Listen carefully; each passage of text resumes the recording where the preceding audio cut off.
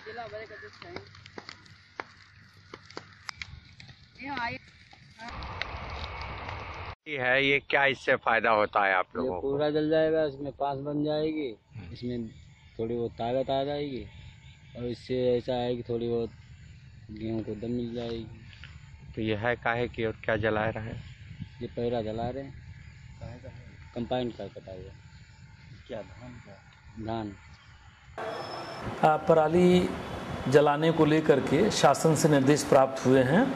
उसके अनुपालन में पर्यावरण को अक्षुण रखे जाने हेतु प्रशासनिक व्यवस्थाएँ की गई हैं। सभी एसडीएम्स को निर्देश दे दिए गए हैं कि कहीं पर भी पराली जलाई न जाए और जलाए जाने लोगों के बीच जागरूकता उत्पन्न की जाए तथा जलाए जाने पर पहली बार उनको